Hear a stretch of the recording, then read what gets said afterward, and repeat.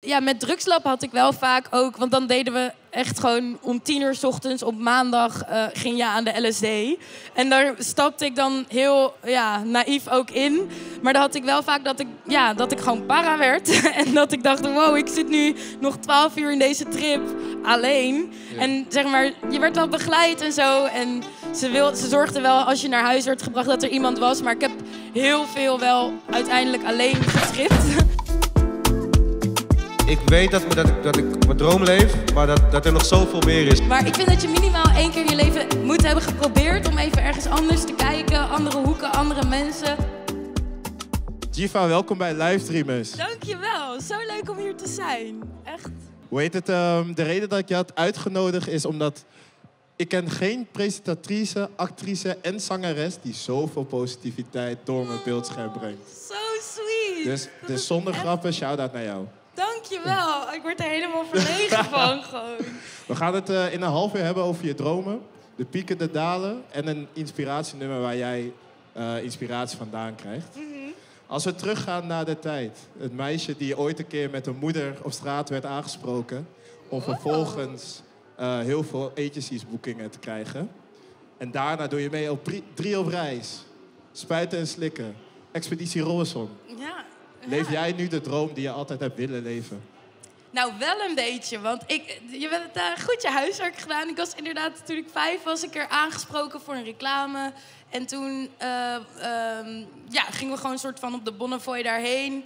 En toen merkte ik wel gelijk van yo, dit vind ik zoveel leuker dan op school zijn. Gewoon op een set met allemaal mensen, werken aan iets. En dat was toen nog, ja, allemaal kinderprogramma's of zeg maar vage dingen. Maar ik dacht wel, als dit mijn leven kan worden... En soms dan moet ik mezelf even realiseren van... Oh ja, oké, wow, je, je bent het nu wel echt aan het doen. Maar met alles is het wel zo van als je het dan echt gaat doen, kom je er ook achter dat, uh, ja, dat het gewoon in de praktijk nog steeds soms ook kut is. Of dat je nog steeds heel erg aan jezelf twijfelt en denkt. Uh, verdien ik deze plek wel? Uh, ja, dus het is, ik leef de droom, maar de droom ja, is wel meer een realiteit geworden dan echt een droom. Ja. En je hebt het over momenten waarvan je zegt van ik had het eigenlijk anders verwacht hoe het in het realiteit was. Dus je hebt het gewoon heel, meer, heel veel meer geromantiseerd. Ja. Maar wat waren dan die dingen waarvan je dacht... oh, als het er zo uitziet, dan gaat het helemaal fantastisch zijn. Maar eigenlijk in realiteit is het niet zo. Mm, nou, überhaupt met draaien, zeg maar. Want ik doe dan drie op reis. En dan denken mensen altijd, oh, dan ga ik weg. Zeggen ze, fijne vakantie. Terwijl het is echt totaal geen vakantie. Je bent echt van hot naar her aan het rennen. Je praat met vijf verschillende mensen op een dag. En dan aan het einde van de dag lig ik in mijn bed. Bijna dat ik soort van ben vergeten wat we al hebben gedaan. En um, ja, je gaat gewoon de hele tijd maar door. Dus dan ja, je, je mist ook vaak wel echt het land waar je bent. Of bij alles denk ik, oh, had ik maar meer tijd om hier echt in te duiken of zo. Je, je raakt alles heel snel aan en dan ga je weer verder. Ja, dus eigenlijk wat je zegt is, je komt en je gaat eigenlijk weer. Ja. En je kan niet echt genieten van de plek en moment waar je bent. Nou, het gaat nu wel steeds beter, maar het is ook gewoon een soort van je, de stem in je hoofd. Want ik dacht altijd, oké, als ik bij drie op reis kan werken, dan uh, ben ik binnen. En dan kan ik daarna gewoon gaan chillen. Alleen toen werd ik aangenomen en toen dacht ik, ja, maar nu moet ik ook nog goede afleveringen gaan maken. En zorgen dat mensen het vet vinden. En um, ik had gelijk gepitcht om een reis te doen naar Ghana, want mijn vader komt daar vandaan. En toen was dat goedgekeurd. En toen dacht ik, oh mijn god, maar mijn hele Ghanese familie gaat nu kijken. En nu moet ik het land goed representen. En zeg maar, de, ja, dan komen er gewoon... Elke keer als je een soort van een doel haalt, komt er weer een nieuw doel. Of, of ja, twijfel je toch of je het goed gaat doen of zo. We hebben het nu over drie op reis. Daarvoor zijn nog heel veel stappen geweest. Ja. Als we kijken naar de Jiva in de tienerjaren. Kan je haar een beetje omschrijven? Hoe is ze? In mijn tienerjaren... Ik moet eerlijk toegeven, ik had wel een beetje een kattiefase. Dus als we echt teruggaan naar de tienerjaren... Ja, ik had wel echt zo die zwarte eyeliner... en dan zo'n um, hemdje van de H&M, wat een hemd is... maar wat ik dan als een jurkje zo over mijn kont trok.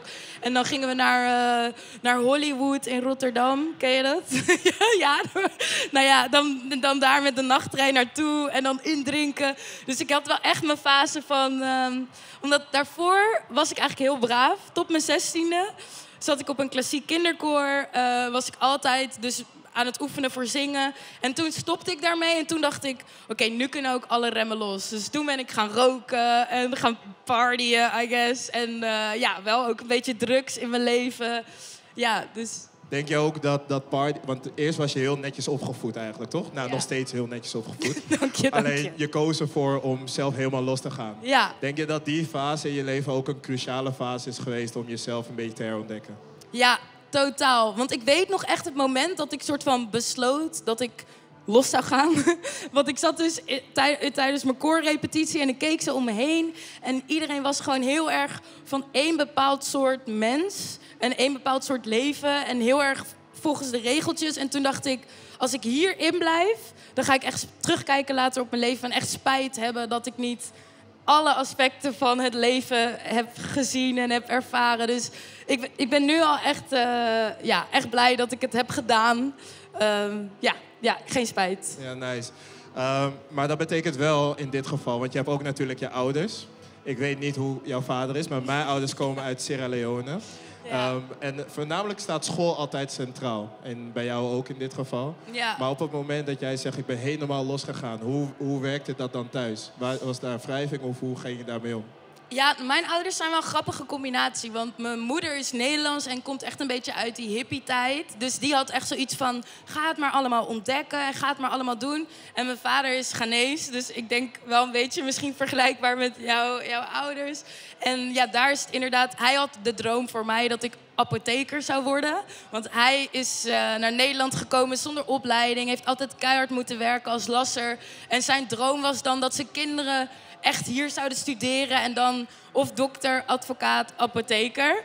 Ehm, en hij zag eigenlijk een soort van die eh, creatieve beroepen, dat is in Afrika, ja, daar kan je gewoon niet echt je brood mee verdienen. Dus ja, dat was altijd wel een struggle. Dat hij dan eh, ging zeggen van, Jiva, denk na, als we in de apotheek stonden van, dit kan allemaal van jou zijn later. En ik dacht alleen maar, ja, Al, nee. al die pilletjes. Ja, nou ja, wel toevallig. Toen, toen ik drugslab deed, dacht ik wel... mm, soort van apotheker, soort van. Maar eh, ja, en het, ook het eerste jaar... Ik vraag me überhaupt af of hij ooit een aflevering van Drugslab heeft gezien. Hij heeft natuurlijk wel eens beelden zien langskomen. Want ook voor expeditie, dan werd iedereen ge- geïntroduceerd. Dus zat ik met, met mijn ouders te kijken en dan zag je mij zo... Dit is Jiva Kusnu. Gewoon zo.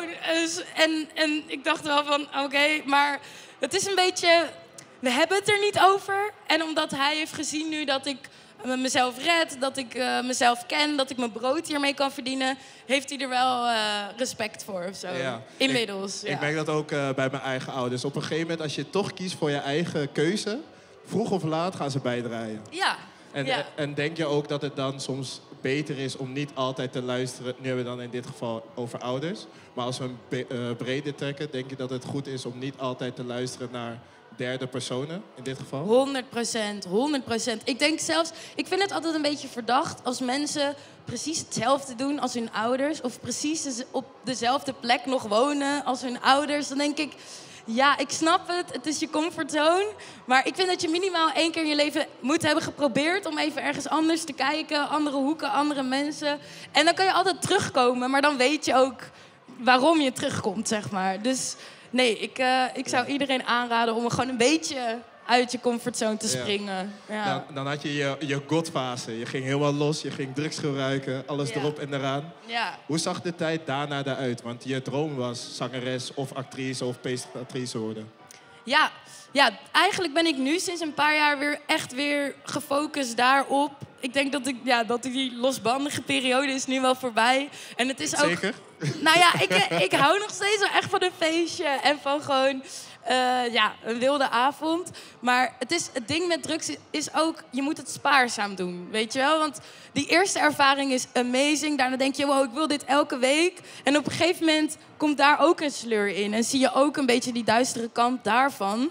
En nu ben ik echt een beetje op een punt in mijn leven... dat ik met alles meer een beetje de balans aan het zoeken ben. Dus dat, ja, die sweet spot gewoon van Ja, dat ja. Fucking leuk is, maar dat het niet elke week hoeft Ja. of zo. En hoe was dat vroeger dan? Toen je nog niet die sweet spot had. Dus dat je die fase had van die god en je ging los. Maar wat gebeurde daarna, zeg maar? Nou, ik heb wel echt eh, in, in veel, heel veel onveilige situaties gezeten waarvan ik nu achteraf denk, wow. Maar Zoals? nou, ik, ik nodigde bijvoorbeeld heel vaak mensen uit bij mijn thuis. ik weet niet, zeg maar niet op die manier, maar gewoon dan, eh, ja, we hadden gefeest en was ik onderweg naar huis en dan kwam ik een zwerver tegen. En normaal zou je misschien denken van, oh, ik fiets even door. Of, maar dan ging ik helemaal in gesprek met diegene en dan vertelde hij één guy, ja, die kwam terug van Turkije. Ik weet niet helemaal wat zijn verhaal was, maar die had de PKK en die had geen huis meer. En dan was ik, stond ik zo soort van open daarvoor. Dus dan zat ik echt, oh, nou ja, je kan wel bij mij douchen en je kan wel dan een paar dagen bij ons slapen en zo. Ja, don't do it. Ja, don't do it. Want die gast heeft echt een week bij ons gezeten. En op een gegeven moment moesten we hem echt zo de deur uit trappen. Dus zeg maar, die naïviteit die je dan nog hebt, die, die ja, heb ik nu wel wat meer losgelaten. Ja. Is dat ook die, volgens jou woorden, je naïviteit, wat je misschien heeft tegengehouden in het vinden van je droom? Of wat kon tegenwerken? Ja, ja, nou ja, ik denk ook gewoon dat het best wel moeilijk is om al vanaf jongs af aan te denken: dit is mijn droom. En hem dan heel je leven vast te houden. Want ja, af en toe komen er ook gewoon momenten dat je je moet afvragen oké, waarom is dit eigenlijk mijn droom en wil ik, wil ik dit nog wel? Want met acteren bijvoorbeeld, dat vond ik altijd heel leuk. En daarvan dacht ik echt, wow, dit is echt wat ik wil doen.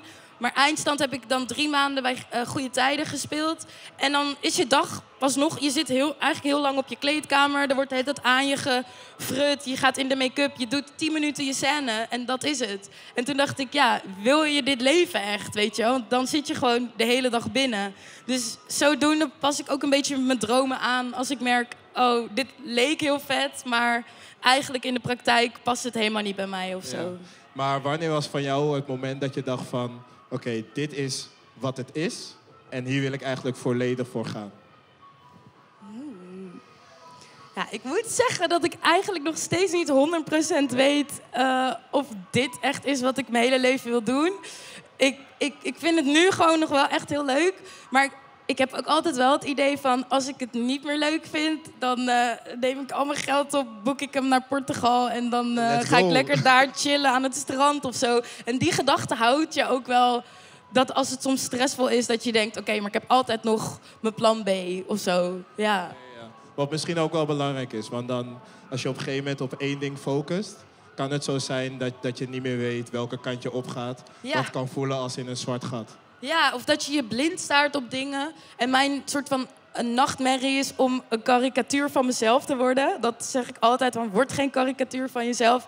Dat je op een gegeven moment soort van jezelf gaat performen. Snap je wat ik bedoel? dat je een soort van persoonlijkheid hebt gemaakt en dan denkt, oh, ik moet altijd die persoon zijn. En ik wil wel echt voor mezelf dat ik, al, ja, dat ik ook gewoon kan veranderen en flexibel kan zijn.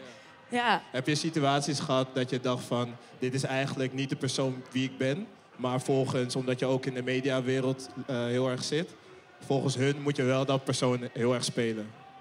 Uh, ja, nou ja, wat je zegt van qua positiviteit en vrolijkheid en zo, dat is wel denk ik volgens mij hoe mensen mij heel erg kennen.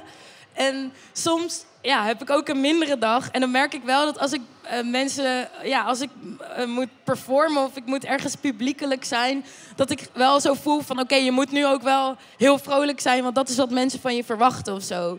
Maar daar ben ik nu een beetje mee aan het leren om dat ook meer los te laten en gewoon te denken, ja, ja iedereen is een heel mens. Je kan niet zeggen, laat uh, de helft van je persoonlijkheid thuis. Dus, ja. ja. En, en, want er zijn vast wel meer mensen die tegen hetzelfde ding aankampen. Wat helpt heel erg voor jou om daar los van te komen? Mm, veel tijd voor jezelf. Dat is het echt. En ik ben sinds kort ook wel een beetje meer aan het onderzoeken naar spiritualiteit. En dat is ja, voor iedereen natuurlijk anders. Maar wat is uh, het voor jou? Nou, ik, mijn vader is dus Ghanese en daar, hij zit wel heel erg in de voodoo-cultuur. En als kind vond ik het altijd een beetje creepy, dat ik dacht, oké, ehm, want dan werden er bijvoorbeeld dingen achter mijn oor gesmeerd. En dan zeiden ze, ja, dit is om te zorgen dat niemand je gaat vergiftigen. En dan dacht ik alleen maar van, wow, wat, hoe, wie gaat ons vergiftigen? Wat gaat er gebeuren? Maar nu zie ik dat het ook heel veel kanten heeft van jezelf leren kennen, je voorouders leren kennen, je geschiedenis leren kennen. En daaruit haal ik heel veel kracht of rust van oké, ik ben niet zomaar een random persoon die hier nu uh, in deze tijd op aarde is gedropt, maar ik kom van iets en ik kan daar ook eh, ja, kracht Ja. uit halen. Ja. Ik Ja. heb sowieso het idee bij jou dat je heel erg op zoek bent naar je innerlijke kern, zeg maar. Van wie ben ik, wat wil ik en waarom ben ik überhaupt hier eh, op deze wereld. Klopt dat? Ja, wel een beetje. Ik Ja, ben wel ik- op zoek naar een soort van mijn missie hier of zo. Ja. Want als we het dan hebben over missie, eh, je hebt een docu-serie gemaakt over abortus. Ja. Eh, je doet soms ook best wel heftige dingen, zoals bij spuiten en slikken. Ga je erachter aan wat OnlyFans bijvoorbeeld is. Ja. Ehm, dus je staat wel elke keer voor dingen. Ja. Doe je dat bewust? Ja, ik wil wel. Ik wil bij alles wat ik maak gewoon wel echt het gevoel hebben dat je een bepaalde grens opzoekt of zo. Of dat je iets doet wat nog niet eerder is gedaan. Want anders denk ik, waarom zou je het anders doen als het al heel vaak is gedaan? En ehm, ja, ik vind, ben ook wel echt geïnteresseerd in mind veranderende dingen, bewustzijn veranderende dingen. Want ik denk dat er gewoon nog zoveel meer is om ons heen wat wij niet zien. Maar wat wel heel veel invloed heeft op hoe deze wereld draait, zeg maar. En daar wil ik een beetje achter komen. Dus ik ben ook zwaar gevoelig voor eh, al die complottheorieën en zo. Covid was niet de beste tijd voor mij. Ik ben echt diep daarin gevallen. Maar ook wel weer eruit gekomen. En eh, ja, ik wil gewoon al- als ik doodga, op welk moment dan ook, dat ik denk: oké, ik heb de wereld wel echt in alle aspecten een beetje gezien of zo. ja. Maar denk je dat dat mogelijk is? Nee. Nee, ik denk nee. Ik ga nooit natuurlijk alles kunnen zien. Ja. Maar dat is wel een goed streven, want dan heb je altijd Eens. iets nog te doen of Ja, zo. ja, ja. Je zei net, eh, COVID is niet de beste periode geweest. Nee. Omdat je veel in je eigen gedachten eh, zit. Ik had een interview waar je was bij Graham van Porten gezien. En op een gegeven moment zei je van... ehm, het heeft me wel eens tegengewerkt omdat ik te veel in mijn gedachten kan zitten. Ja. Kan je dat uitleggen? Nou ja, ja, ik was dus heel erg op. Zeg maar, voor mij, ik had altijd een idee van eigenlijk hoe je bent opgevoed. Veel mensen in Nederland van. Oké, we hebben een democratie en dat werkt zo. En we hebben politiek en die regelt de dingen die niet goed gaan in de wereld. En toen COVID kwam, was het voor mij een soort van realisatiemoment van. Shit, volgens mij heeft niemand een idee wat we hier aan het doen zijn. En toen ging ik heel erg die negatieve trein op van... Oké, dus dat betekent dat iedereen alleen maar achter het geld aan zit. En je kan eigenlijk niemand vertrouwen. En je moet alles voor jezelf uitzoeken, want eh, anders word je genaaid en dat soort dingen. En ehm, ja, dat was gewoon niet. Er kwam gewoon zoveel boosheid. Ook, en, en op een gegeven moment realiseerde ik me van: ik heb hier niks aan, aan, aan deze emotie. Van, je zit alleen maar in jezelf boos te zijn op allerlei dingen waarvan je geen idee hebt eigenlijk hoe het precies werkt. Dus ehm, ja, het- gewoon toen ik dat kon loslaten, was het echt een soort van bevrijding van... Oké, je hoeft niet alles te begrijpen, maar ja, dat Ja. betekent niet dat alles gelijk negatief is. Ja. En nu hebben we het specifiek over COVID. En als we kijken naar zeg maar, de droom die je hebt gehad. Dus je hebt gewerkt bij Drie op Reis, bij Spuiten en Slikken. Je hebt meegedaan aan Expeditie Robinson. Drie, drie Lab. Wat, wat, wat was het? Drugslab? Sorry, ja. sorry. Ehm, wat, wat waren dan momenten dat je dan misschien te veel in je hoofd zat? En dat je dacht van, ja, zo ga ik het, zo ga ik het niet kunnen halen. Mm, bedoel je echt, zeg maar, eh, eh, specifieke momenten? Ja. Want ik weet, ja, met drugslab had ik wel vaak ook... Want dan deden we echt gewoon om tien uur 's ochtends op maandag eh, ging je aan de LSD. En daar stapte ik dan heel ja, naïef ook in. Maar dan had ik wel vaak dat ik, ja, dat ik gewoon para werd. en dat ik dacht, wow, ik zit nu nog twaalf uur in deze trip alleen. Ja. En zeg maar, je werd wel begeleid en zo. En ze, wil, ze zorgde wel als je naar huis werd gebracht dat er iemand was. Maar ik heb heel veel wel uiteindelijk alleen getript. Ja. Maar daar ben ik wel sterker van geworden. Want ja, je leert gewoon van... Oké, ehm, je moet gewoon go with the flow. En alles wat je ervaart en alle gevoelens eh, betekenen iets. En ja, ja ik heb, er is niet echt een, eh, een handleiding voor. Maar gewoon, eh, ja, gewoon, gewoon, doen. En Gewoon gaan met de stromen en dan ga je Ja. er gewoon voor. En niet te veel stressen, wat je zegt. Niet te veel nadenken, maar Ja. gewoon voelen, ervaren en genieten als Ja. het lukt. Ja. Je hebt eh, met Abigail heb je een nummer gemaakt. Out, of the, Out of the City. Hey, zo nice. En ik heb hem gecheckt, hij is nice. Eh, het nummer, nou, eigenlijk wil ik dat jij het uitlegt waar het nummer over gaat. Nou, dat was wel ook in die periode van dat we echt zo binnen zaten en dachten... ik, ik weet niet, veel mensen hebben volgens mij een beetje dat gevoel van... eh, ik verkoop al mijn spullen en ik koop een houten hutje ergens in een bos en ik ga daar zitten. En dat nummer ging echt een beetje daarover van... Ja, terwijl uiteindelijk doe ik het, heb ik het nog steeds niet gedaan, maar dat, is, dat lijkt me gewoon zo'n lekker gevoel. Om een soort van die gestoorde stad achter je te laten. En een beetje zo dat die wedstrijd die soms het leven hier in het Westen is. En gewoon helemaal in het nu te leven. En te kijken hoe je ananasboom groeit. En eh, ja. Is, is dat dan voor jou ook een, soms een escape wanneer het gewoon te druk wordt in de stad? Om uiteindelijk gewoon je rust te pakken? Ja, dat is wel Loki nog steeds soort van mijn einddoel in het leven. Zo, ik wil heel veel doen, maar ik wil uiteindelijk gewoon echt in mijn hangmat zitten als oude vrouw. En gewoon eh, niet, ja, zo min mogelijk mensen om me heen. En gewoon, eh, ja, hopelijk dan terugkijken op al je ervaringen. En eh, ja, een beetje gewoon nagenieten. Uit, Uitfloten. Uitfloten, ja, ja. Lekker. Deze show heet Live Dreamers. De podcast over het waarmaken van je dromen. Uiteindelijk vind ik het hartstikke top als ik over vijf jaar bij wijze van spreken... misschien wellicht weer op open air uh, weer jouw droom kan weten. Dus Dat aan jou de vraag. zijn, ja. Als, als, je, als ik jou over vijf jaar bij wijze van spreken spreek... wat zijn jouw toekomstdromen? Nou, eigenlijk mijn allergrootste droom. Ik vind het een beetje eh, altijd awkward om te zeggen, maar ik wil heel graag mijn eigen YouTube-kanaal beginnen. En dat klinkt heel simpel. go! Ja, ik ben ook wel begonnen, maar eh, want ik werk altijd voor anderen eigenlijk, of meestal. En ik wil nu gewoon mijn eigen shit maken en dat ik gewoon volledige controle heb over hoe het geëdit wordt, wie erin komt. Eigenlijk een beetje wat jij doet.